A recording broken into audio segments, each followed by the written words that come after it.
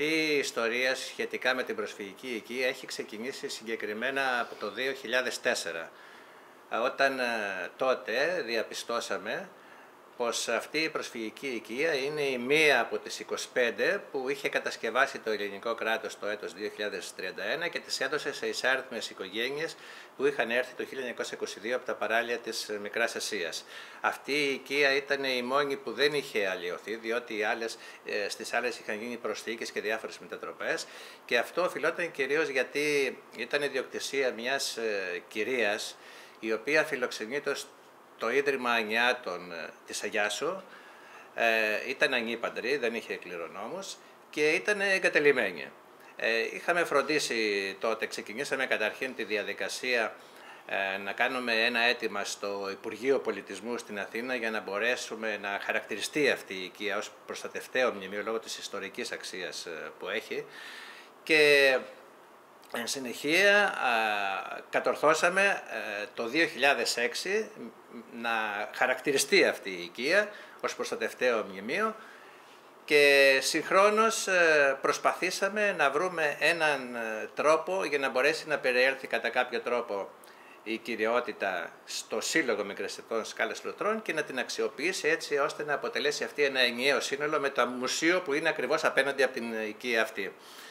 Ε, όλο αυτό το διάστημα βέβαια έχουμε μαζέψει και ό,τι άλλα πράγματα χρειάζεται για να μπορέσουμε να την επαντρώσουμε όταν κάποτε περιέλθει στα χέρια τα δικά μας η χρήση της οικίας αυτής.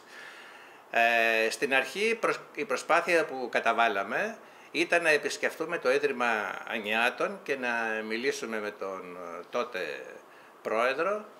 και να απευθύνουμε εγγράφος στο αίτημά μας έτσι ώστε μήπως μπορέσει αυτή η κυρία και τη μεταβιβάσει απευθείας στο σύλλογο αυτή την οικία. Όμως οι γιατροί που την εξέτασαν, επειδή ήταν υπερήλικας, ε, διαπίστωσαν ότι δεν υπήρχε δικαιοπρακτική ικανότητα της κυρίας αυτής για να κάνει τη μεταβίβαση και έτσι ο μόνος τρόπος ε, για να μπορούσε να περιέλθει στην κυριότητά μας ήταν ε, η απαλωτρίωση από κάποια δημόσιο φορέα, είτε από το Υπουργείο Πολιτισμού, είτε από το Δήμο, είτε από άλλον, κάποιον άλλον δημόσιο φορέα, όπως σας ανέφερα. Ε, προσπαθήσαμε στην αρχή που έδειξε κάποιο ενδιαφέρον τότε νομάρχης ο κύριος Παύλος Βογιατζής, αλλά στη συνέχεια επειδή καταργήθηκαν ε, οι νομαρχίες, αυτές, αυτή η προσπάθειά μας δεν καρποφόρησε και ξαναξεκίνησε εκ νέου το 2015, όταν το Μάιο αυτού του έτους, το 2015, απευθύναμε μια επιστολή στην οποία εξιστερούσαμε όλα αυτά που σας προανέφερα στον τότε δήμαρχο, τον κύριο Σπύρο Γαλινό.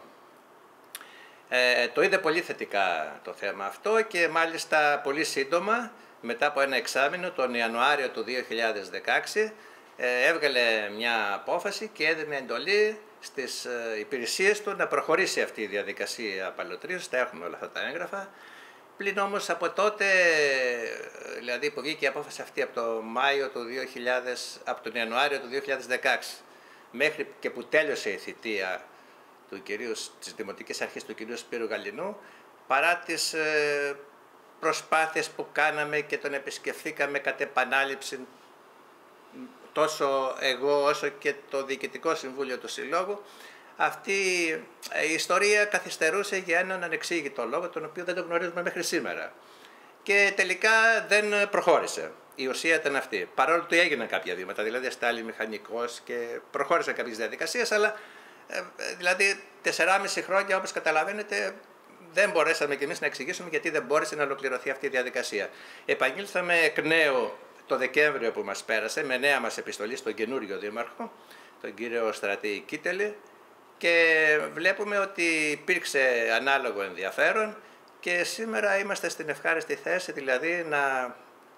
γνωρίζουμε ότι ήδη έχει εγκριθεί ε, με απόφαση του Δημάρχου το ποσό αυτό που είναι ένα πολύ ευτελές ποσό δηλαδή για το συγκεκριμένο οίκημα να μπορέσει να προχωρήσει η απαλωτρίωση και εν συνεχεία θα συνεννοηθούμε με, το, με τη Δημοτική Αρχή.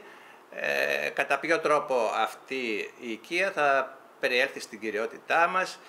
και θα μπορέσει να ανακατασκευαστεί γιατί όπως βλέπετε έχει πέσει στο διάστημα αυτό και η σκεπή και είναι πολύ ε, χάλια όλο το κτίριο και να μπορέσει να προχωρήσει αυτή η δουλειά είτε σε συνεργασία με το Δήμο, που είναι και η επιθυμία μας δηλαδή, ο οποίος έχει τις διαχειριστικές αρχές που μπορεί να μπει σε ένα πρόγραμμα και να γίνει δηλαδή και χωρίς έξοδο και με ευρωπαϊκά κονδύλια,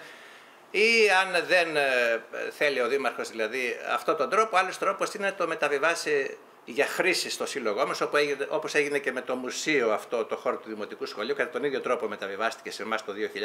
2002 και να προχωρήσουμε εμείς εντάσσοντάς το σε κάποιο πρόγραμμα,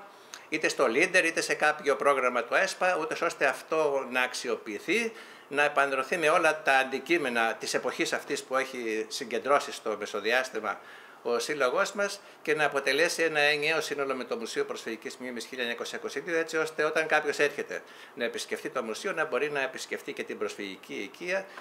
για να βλέπει, εν πάση περιπτώσει, και το ενδιαφέρον που έδειξε τότε το ελληνικό κράτος για την αποκατάσταση των προσφύγων, αλλά και μέσα σε τι συνθήκες δηλαδή αυτοί οι άνθρωποι μπόρεσαν να ανταπεξέλθουν μέχρι σήμερα στις δυσκολίες αυτής της εποχής.